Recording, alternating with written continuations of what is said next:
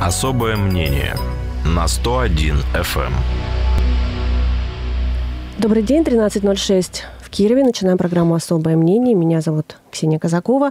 Напротив меня наш гость, депутат Кировской городской думы Юрий Шлемензон. Юрий Львович, здравствуйте. Добрый день.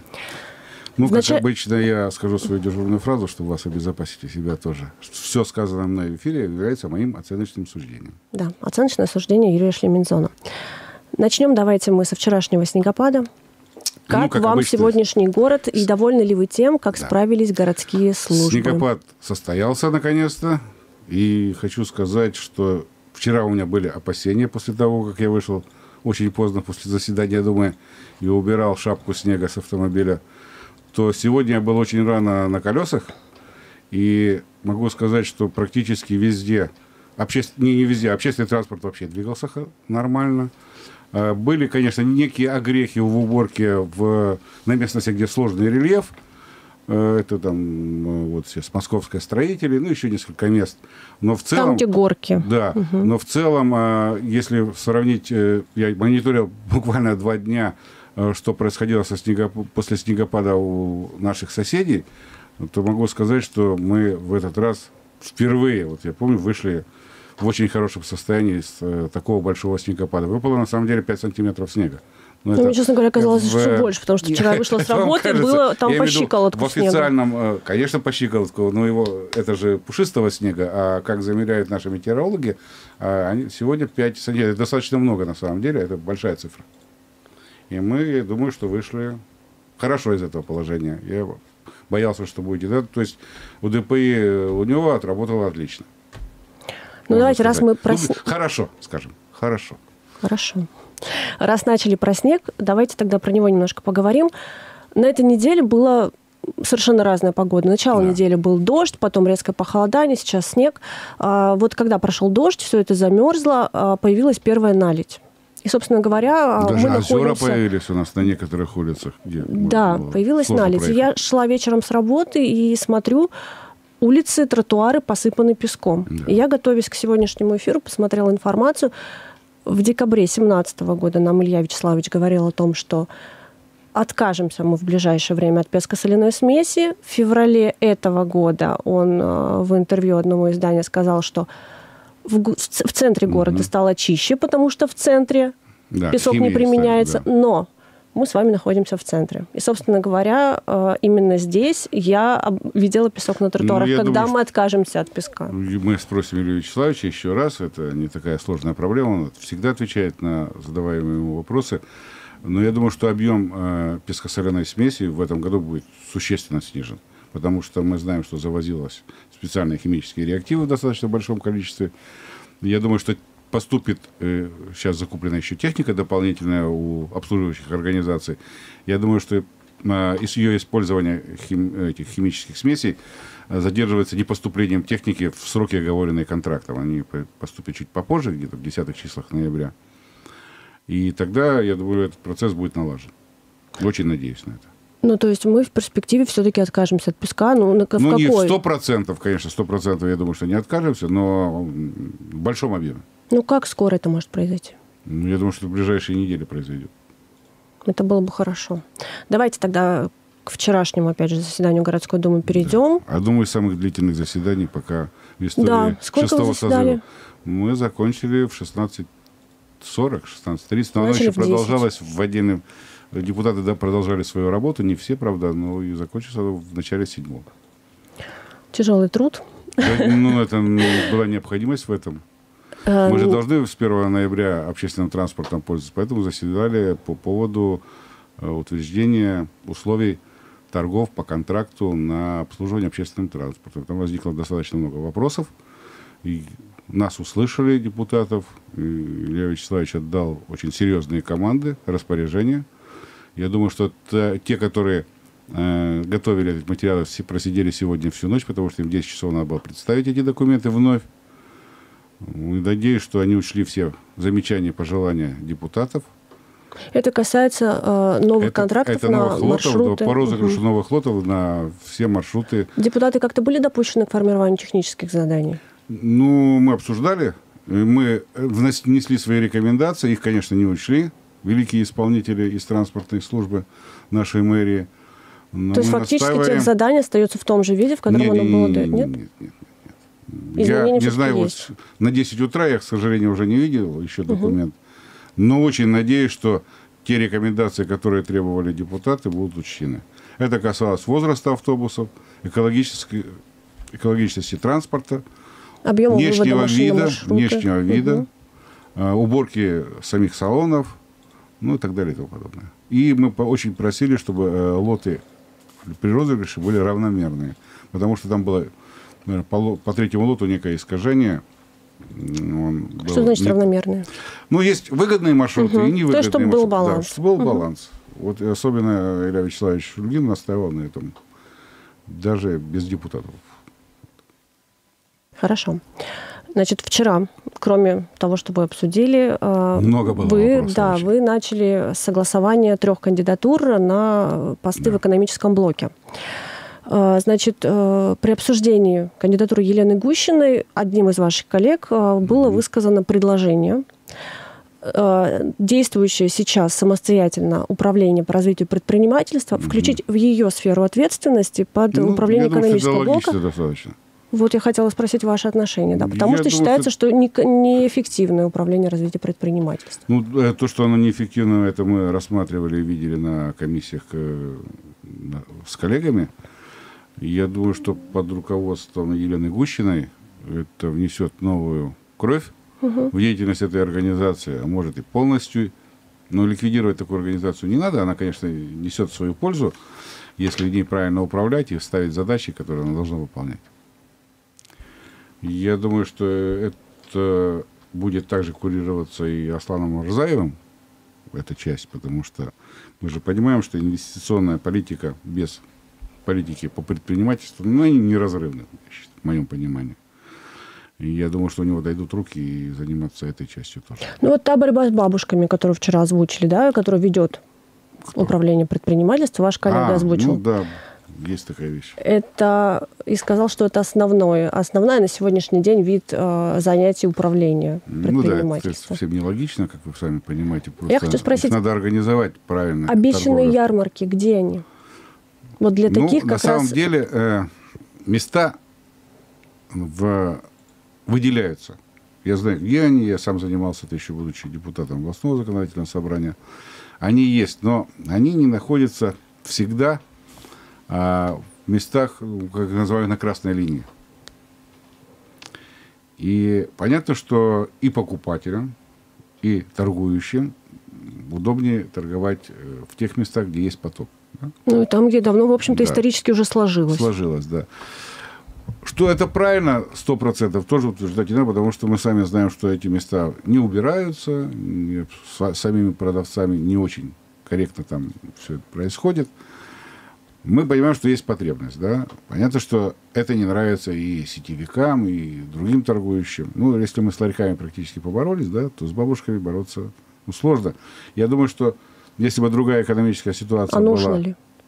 Вот я закончил. Ну, была другая экономическая ситуация в стране и в городе, то мы бы смогли... Их, во-первых, было бы меньше, наверное. А то, что их продукт востребован, это даже не обсуждается. Просто надо подумать, э, как организовать правильно, чтобы это было доступно, удобно как продавцам, так и покупателям. А как это сделать? Ну, для этого есть специальные люди, я же не могу за весь город отвечать. Конечно, я знаю, как это... Ну, предполагая, как это можно сделать, я внесу свои рекомендации по этому вопросу. Хорошо. Юрий Львович, предлагаю прерваться на короткий перерыв. Вернемся в студию, Давайте. продолжим. Особое мнение на 101 FM. Возвращаемся в студию, продолжаем программу «Особое мнение». Его сегодня высказывает депутат Кировской городской думы Юрий Шлемензон. Мы начали обсуждать вчерашнее заседание городской думы, его продолжаем. И мне хочется, Юрий Львович, услышать ваше мнение касаемо трех кандидатур, которые вы вчера согласовали на посты в экономическом блоке. Я слушателям напомню, у нас идет речь о трех людях. Mm-hmm. Это Аслан Рзаев, который занял пост э, да. замглавы администрации по вопросам муниципальной Вадим собственности, Вадим Елена Токарев и Елена Гущина. Mm-hmm. Что вы по этим кандидатурам думаете, как вы голосовали? Э, во-первых, они сначала все проходили комиссию, которую я возглавляю. Угу. Это так, по регламенту у нас положено. Какого-либо неприятия этих кандидатур у меня лично не было. Э, все члены комиссии проголосовали за.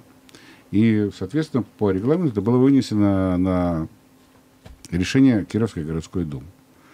Э, выступающие мои коллеги тоже не выражали никаких отрицательных эмоций по назначению этих кандидатур. И они очень хорошо прошли голосование, что могу сказать. Их, во-первых, хорошо представили. Э, если Владимир Токарева, его бывший начальник представлял, э, господин Сурженко, это министр имущественных отношений угу. Кировской области, а на комиссии он очень подробно рассказал, какую последнюю деятельность провел Вадим Токарев, какие он, ну, будем говорить, хорошие экономические достижения были в его деятельности. Аслана Рузаева рекомендовал сам Илья Вячеславович. Мы знаем, что он сделал на центральном рынке. Ну, там реально большой прорыв.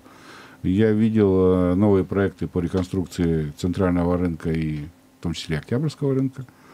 Ну, достаточно инициативный, работающий молодой человек. Я думаю, что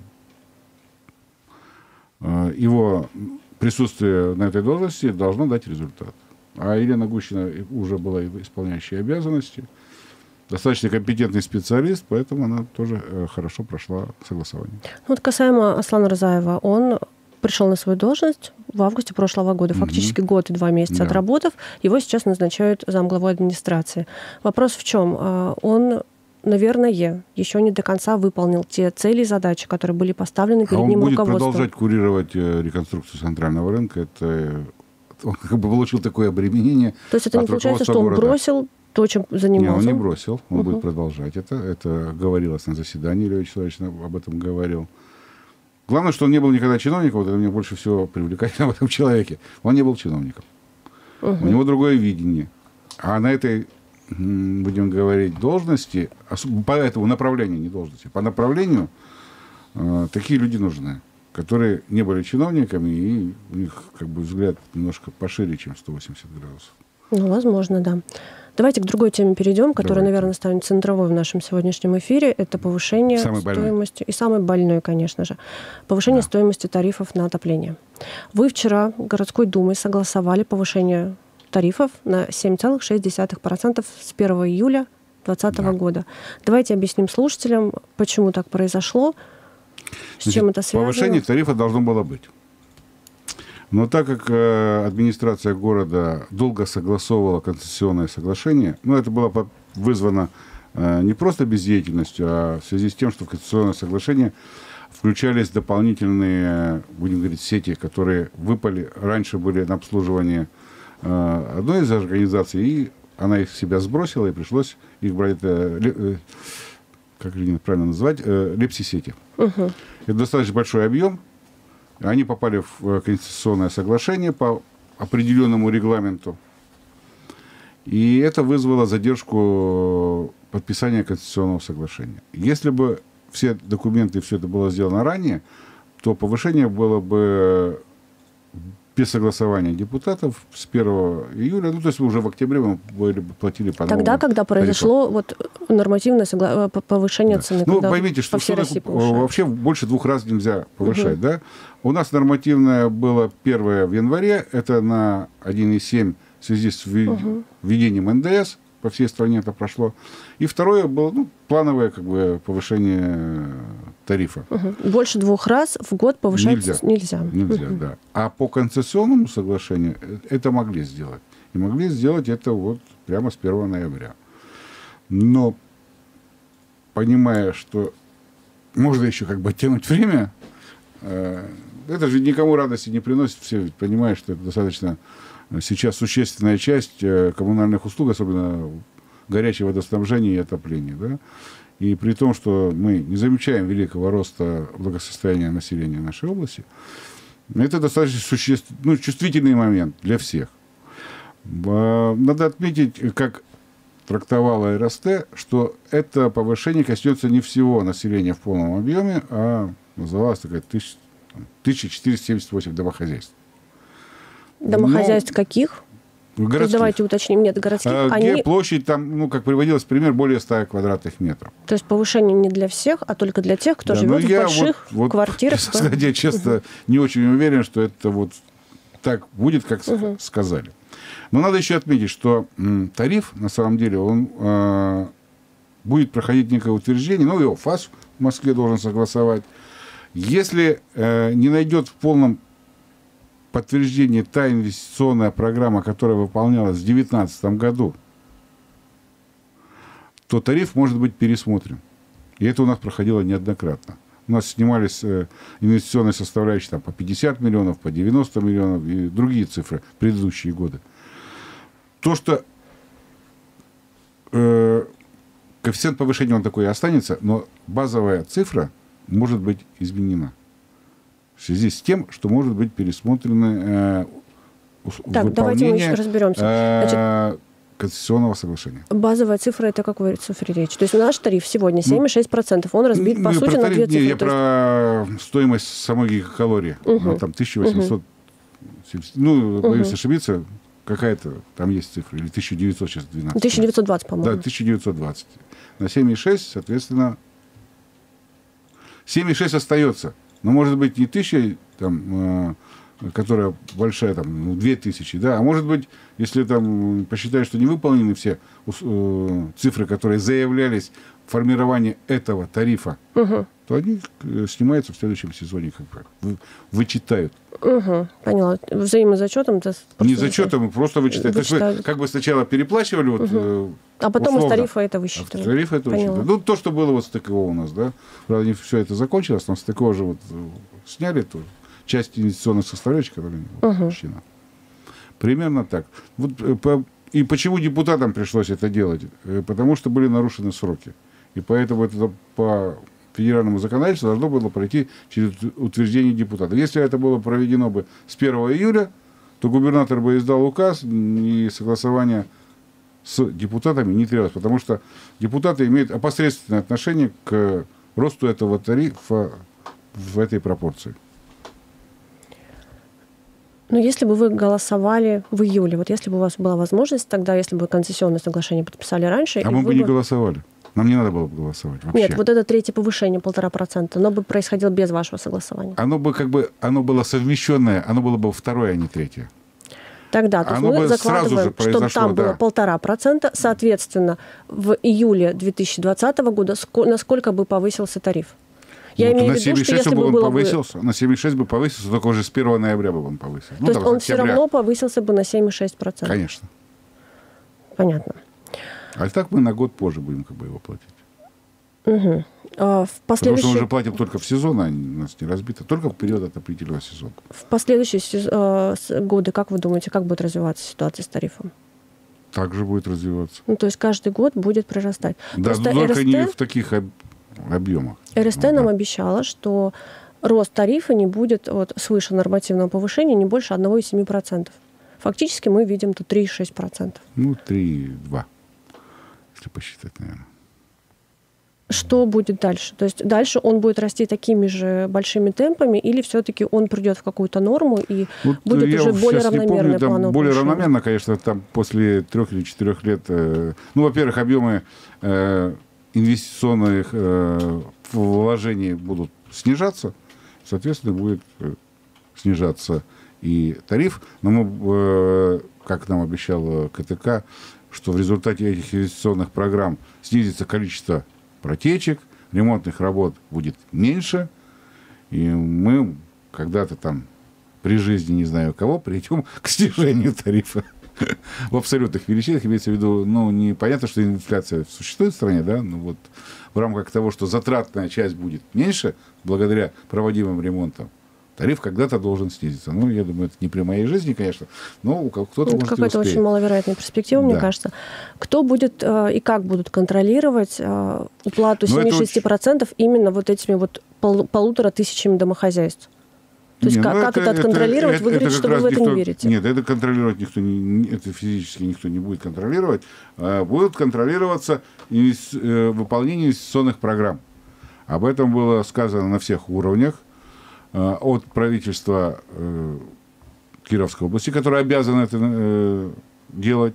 И сейчас городская администрация, это постановление, если я не ошибаюсь, должно быть выйти или сегодня, или завтра – Э, по решению, по требованию депутатов, ну, ну, будем говорить, не по требованию, да, по требованию, это было протокольно отмечено, Илья Вячеславович должен представить то ли сегодня, то ли завтра э, постановление о контроле за выполнением инвестиционных программ по э, теплоснабжению.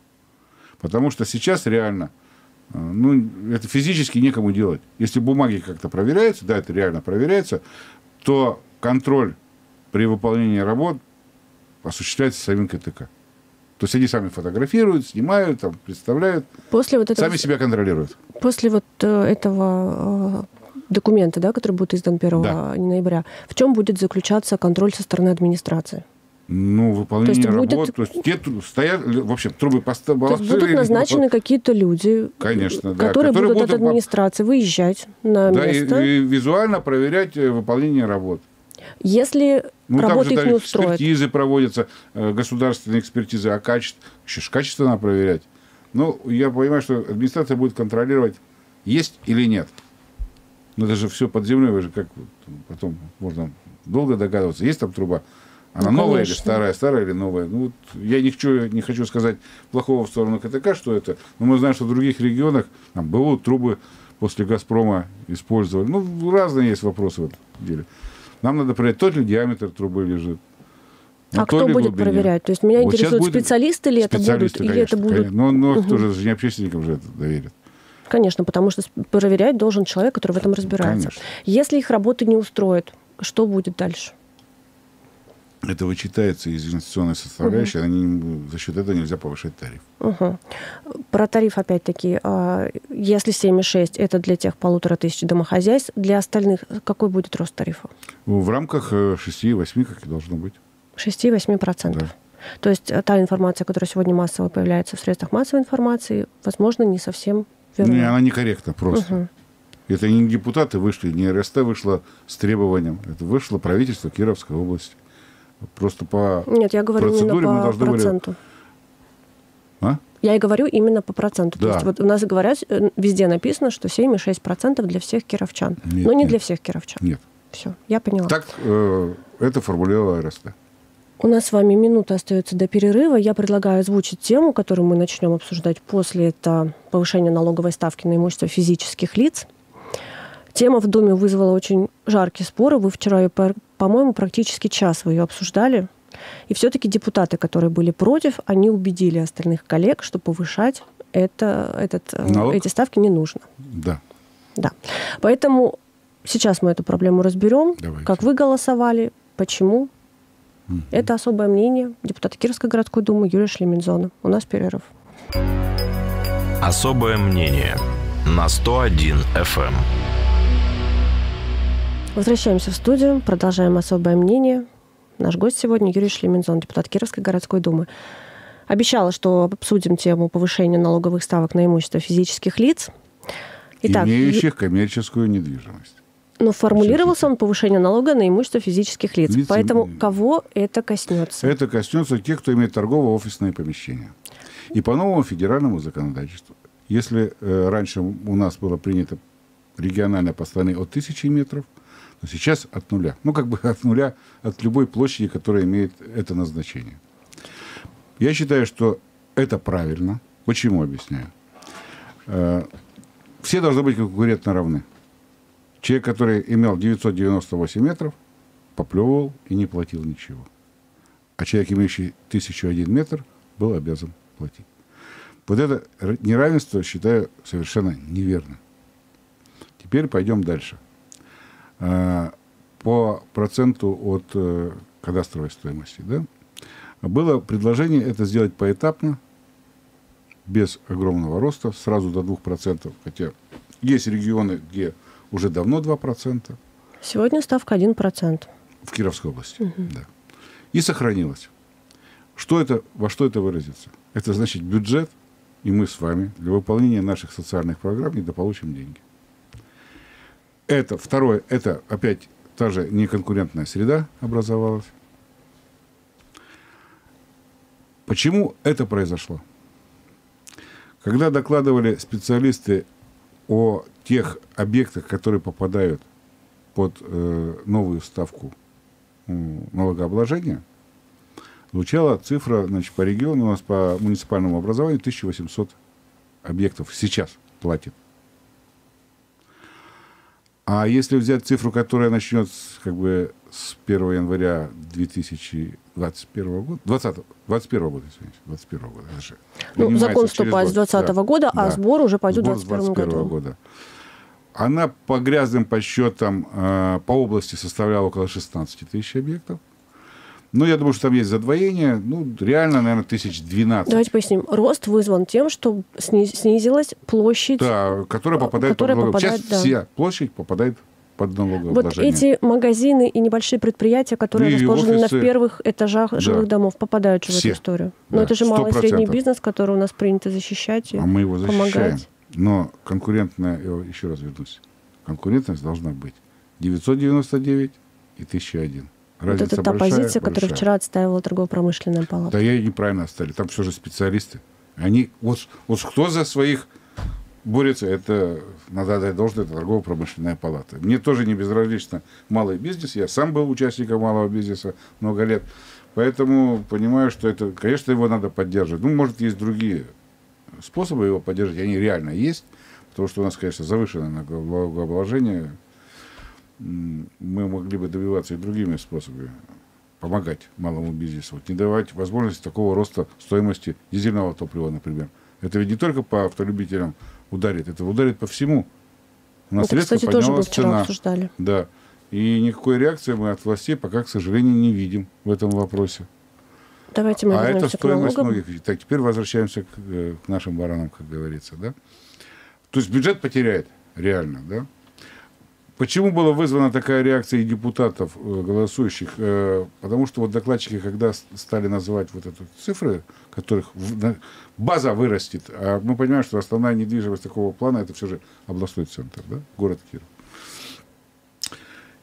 Но закралось сомнение, когда спросили, э, вырастет ли кадастровая стоимость, то практически не прозвучал ответ, что она не вырастет. И насколько она вырастет, тоже стало непонятно. Идите в суд, как сейчас говорят, отбивайте свою кадастровую стоимость. Поэтому получилось бы, если мы говорим сейчас 20% рост, 1,2 это 20% рост, да? Это только а 2% это стопроцентный рост. То есть ну, фактически это, в два мы раза. Мы дошли. Угу. Это, при этом могла кадастровая стоимость возрасти, мы не знаем сколько раз. Она же происходит, такие скачки.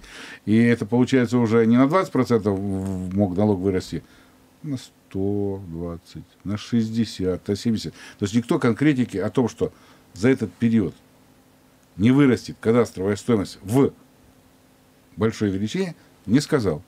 Это вызвало соответствующую реакцию депутатов и э, не проголосовали за поэтапное введение коэффициента на налога на недвижимость, коммерческую недвижимость, будем так говорить. Конечно, это не очень хорошо. Потому что бюджет и социальные программы потеряли средства. Все равно это произойдет. Ну, оттянули мы улучшение нашей жизни на один год. Неверно. То есть, если за... это неверно. постановление не принято, в следующем году ставки действуют действующие. Которые действующие, Которые конечно. нынешние. А кто контролирует вот эту кадастровую стоимость? Ну, это специальные службы. Ну, я так понимаю, ну, что это просто полномочия не, считает, не города. А? Я понимаю, что это полномочия не города. Не города То есть да, город устанавливает конечно. ставки, а кадастровая это уже областной да. уровень, и в этом, в общем-то, да. может возникнуть диссонанс. Да. Я поняла. То есть э, в следующем году все остается так же, но велика вероятность, наверное, того, что не, в 2020 году... Э, все равно э, налог, поступление налога должно увеличиться, потому что база возрастет, если мы э, было 1800 объектов, а станет там ну пускай 10 тысяч, 8 тысяч, все равно это... Ну, они, понятно, что они по площадям не огромные, да, эти объекты, но все равно это достаточно такой, ну, весомый кусочек должен добавиться. А не, не боитесь Будет ли собираемость вы... хорошая еще? Вот вопрос. Кстати, Доживут да. ли эти предприниматели до этого периода, что можно будет платить? Мы же видим, что у нас сокращается налоговая база, да? Не боитесь ли вы, что возникнет ситуация, когда юридические лица, собственники да. Да, торгово-офисных площадей будут переводить ну, их на это уже было. Это уже было ранее. Ну, это, это, это законно. Ну, вот готовясь, кстати, к сегодняшнему эфиру по повышению налогов, я нашла информацию, которую mm-hmm. наш министр финансов России Антон Силуанов сказал, по-моему, в конце в прошлого не будем года. упоминать больше его фамилию. И сказал, что 6 лет, ближайшие 6 лет, mm-hmm. налог, э, роста налогов не произойдет. Ну, вы в это верите? Я, я хочу нет. спросить вас, верите ли я вы это верю. и почему налог все равно повышается? Я не верю. Потому что мы слышали много про пенсию и про другие вещи, про рост стоимости бензина, привязанную к стоимости нефти у них там, у этих загнивающих буржуев, и так далее и тому подобное. Мы много всяких басен наслушались. Ну, у меня лично нет доверия к таким словам. Угу. Давайте к другой теме быстренько ее обсудим. Не так много времени у нас остается. Попробуем. Вы вчера утвердили изменения в правила землепользования Ну, по одному объекту. по одному объекту. Да. Но дело не в этом. А, Меня заинтересовало то, что выяснилось, в общем-то, в ходе обсуждения. То, что сегодня в наших правилах землепользования... Впечатление, э, министра по имуществу. Да, да, то, что э, Артем Сурженко сказал Да. о том, что порядка 250 категорий земель сегодня существует в Мгм. Кирове. Да. Э, Эти правила, как я понимаю, были утверждены в 2009 году. Вы в это время были еще депутатом законодательного собрания. Я и, наверное, отношения не отношения не имеете. Но, Нет, может быть, конечно. вы вспомните, чем было это вызвано, и были ли какие-то объективные причины для такого Ну, раздувания категорий Но земель? объективные причины, можно их назвать, э, были, конечно. Просто так на пустом месте ничего не возникает, да? Ну, будем говорить, во-первых, это, если оттолкнуться от того, что это было выгодно чиновникам, каждое лишнее согласование, сами понимаете, это добавляет жизни чиновникам. И еще от чего-то другого. А По отдельным объектам, по- я имею в виду по ПЗЗ, может быть и правильно было, что в этих зонах, если там чистое здравоохранение, как говорится, чтобы не могли пристроить заправку, ларек и что, либо еще. Да, при проектировании э, и заказе большие зоны, которые все в себя запускают, да, можно было нарваться. И это, почему это не только в Кирове было сделано, что стали дробить э, зоны, чтобы обезопасить себя, ну не себя, но город, муниципалитет от э, действий, которые не подходят муниципалитету. Вот только этим было вызвано большое обилие зон. Ну, я сейчас... Хотя это не всегда выгодно там, при приватизации, которую проводит муниципалитет или область. Да? То есть, э, когда много зон в одном, надо все равно это объединять, иначе ну, нет потребителей на зону, которая узконаправлена. Ну, конечно, они бывают, но реже. А когда зона имеет более широкое использование, это получается, ну, оно более ликвидное место. Ну, сейчас, насколько я знаю... У нас идет уж разраб- ограничений, конечно, достаточно много, Мгм. вот особенно там псевдоисторическая, историческая часть. Вот. ну, Только в зоне здравоохранения три Да. подкатегории. Да. Ну, Зона это- здравоохранения, это, специального конечно, здравоохранения. Это чиновничьи штучки. И ничего другого я не вижу. На поклон, на поклон, на поклон. Сейчас, когда идет разработка нового градостроительного кодекса, я как понимаю, что под них новые правила благоустройства, вернее, зем- землепользования будут переверстываться, можно ли внести изменения вот, э, в количество земель, в количество категорий Ну, Конечно, земель? можно. Да, И это можно ли- прерогатива кого? Администрации. Ну, вы же депутаты можете выступить с э, предложением. Выступить мы можем. Меня вот что интересует, потому что вчера по этому участку, который вы обсуждали на, Да. на перекрестке Юровской и строителей, многие депутаты опасаются, что будут построены жилые Не, дома. ну это говорено, что жилищную, это даже Вот. протокольно было отмечено. Я вообще э, на самом деле выступал против того, чтобы Лукойлу там позволить, он просто расшириться хочет. А, так как это не самая лучшая для нашего города организация, которая благоволит, не принимая вообще ни в одной из социальных программ в регионе. Это, мне кажется, вызвано вчерашним выступлением. Нет, это я до этого уже говорил. Я обращался и к администрации города, попросил наших депутатов, мы готовим а, обращение к губернатору по поводу деятельности этой компании в регионе. Нет, это не сегодняшнего дня, поверьте мне, я этим вопросом уже не первый день как бы занимаюсь. Я хотел, ну, единственное, что мы бы испортили приватизационные моменты, поиспользовали всего участка, поэтому я проголос- э, воздер- ну, я, правда, воздержался голосовать, а, но так получилось, в общем. И все-таки я закончу вопрос. Э, А, Земля будет использоваться, как заверяло э, правительство Мгм. Кировской области. Еще точного назначения нет, потому что нельзя запроектировать, пока нет э, изменений ПЗЗ. А потом появится проект. Но разговор о строительстве жилья там вообще не стоял. Это я поняла. Но все-таки, если мы будем переверстывать правила землепользования, можно ли вот эту зону там общественно-деловой застройки, которая на сегодняшний день самая mm-hmm. широкая и включает да. в себя много разных, а, много разных вариантов да. Да, объектов, можем ли мы исключить, сделать такую же зону, но исключить из нее жилищную застройку, так, чтобы депутаты, принимая постановление, да, такие приним... голосовали можно. за то, чтобы включить вот в эту зону, но понимали, что жилья там не будет? Конечно, можно. Почему нельзя? Ну, вы... Можно. То есть депутаты могут с такой инициативой выступить, если... Да. Что для этого нужно? Это внеси изменения в ПЗЗ. Вот Нет, я все. имею в виду со стороны какая-то политическая воля, может быть, или обращение граждан. То или... депутаты знают про это, они сами внесут. Наверняка. То есть, если будет потребность, то депутаты Конечно. внесут. Поняла. Предлагаю на этом закончить. Время наше подходит к концу. Это было особое мнение депутата Кировской городской думы Юрия Шлемензона. Спасибо. Всего Спасибо доброго. всем. До свидания. Особое мнение на 101 FM.